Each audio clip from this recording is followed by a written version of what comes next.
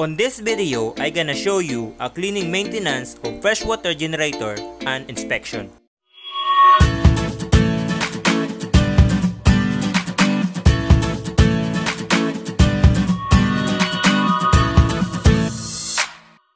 First thing first, make sure that all seawater line are shut.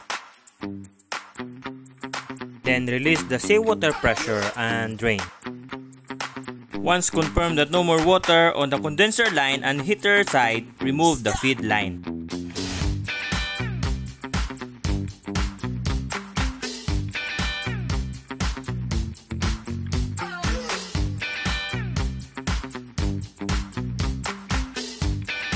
For safety, remove the thermometer to avoid damage. Then start removing bolt and nut from the condenser and cover.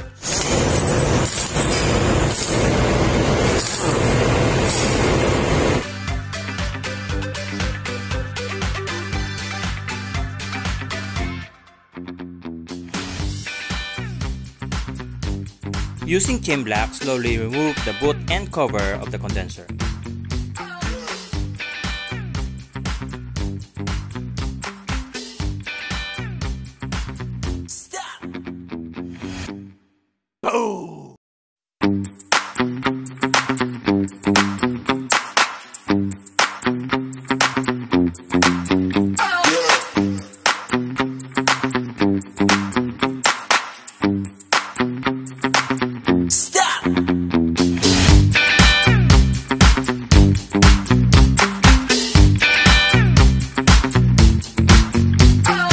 Usually, shells and mud are accumulated at the condenser tubes. What?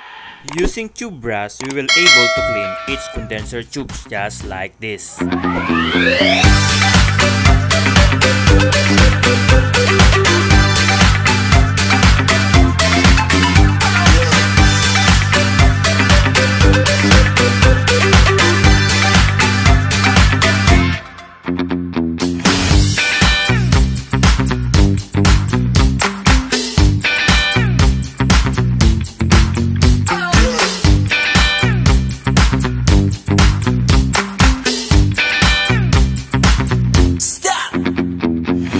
One hour later.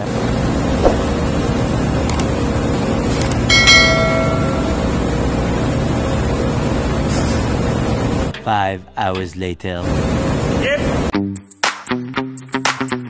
Inspect and clean sacrificial anodes or replace as necessary.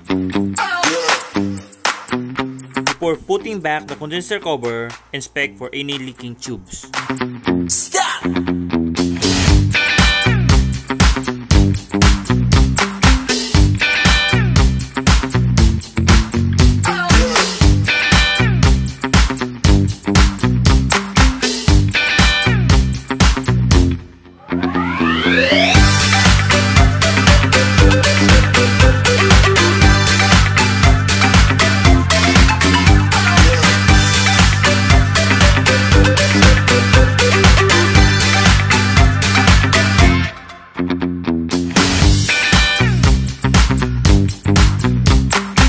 we had put back the end condenser cover, next put back the drain flange, the thermometer, the feed line, and the remaining anodes.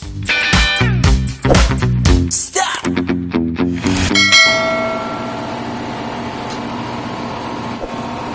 Upon completion, open the seawater inlet to pressurize the condenser. In this way, you measure the integrity of gaskets.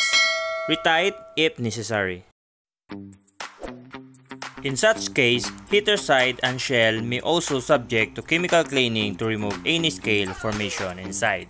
I hope you have learned from this video. If you haven't yet subscribed, just hit the subscribe button. It's totally free. You may also consider watching freshwater generator principle and operation, as well as my other videos. As click this to watch and see you there.